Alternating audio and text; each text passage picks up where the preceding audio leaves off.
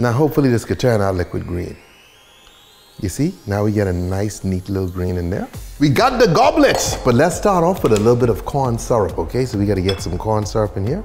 But not just corn syrup, we also need some green sugar.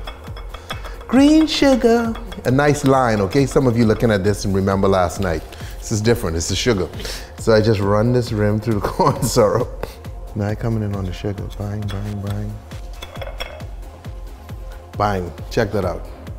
Nice and green. Get a little bit of ice in here. This one's made in the glass, no blending, easy to do. You could blend this if you wanted. We do a lot of blended drinks. I decided to give you all a break today. Now I'm breaking out my crown apple, okay?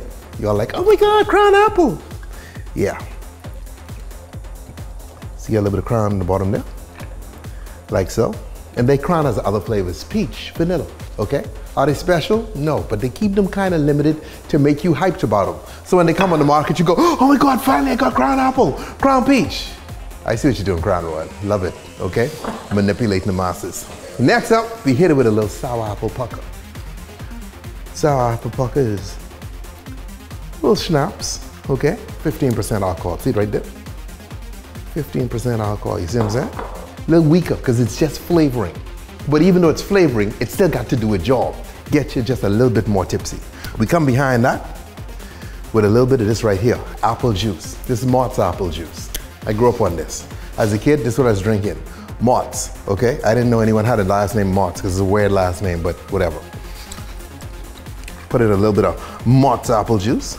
Now we need some more green. So we coming behind here with this green apple soda. We're using Jones, but if you can't find a green soda, you could use a green juice. It's gonna be thicker, it's gonna be different, okay? Now hopefully this could turn out liquid green. You see, now we get a nice neat little green in there. So check this out, I grabbed my little apple, right? And I want to decorate with some apple, you know? I want to get some apple slices on top. So guys, check this out. We just do a little spread like so. We also got green apple candy. So we get the rings, and you want to just put this around your straw. You still want them to know it's a straw, but you want them to, you know, beautiful. And there you have it, the crown apple goblet, okay? Because this is what the kings drank back in the day, okay? They wasn't drinking from no little wine glass. I think wine glasses were just too, I don't know. I would, I'm gonna say weak for them, okay? Too sophisticated, okay?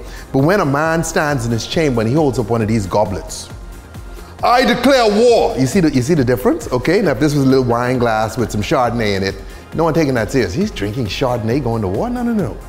I declare war. You see? Much more meaning. Okay, let me hit this.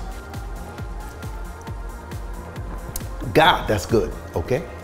Drink responsibly, don't drink and drive. Stay tipsy.